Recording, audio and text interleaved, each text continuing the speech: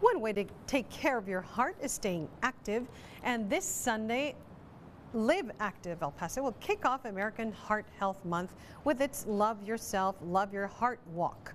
The free family-friendly health and wellness event starts at the west side entrance of Scenic Drive. It's a three-mile walk run and starts at 8 o'clock in the morning.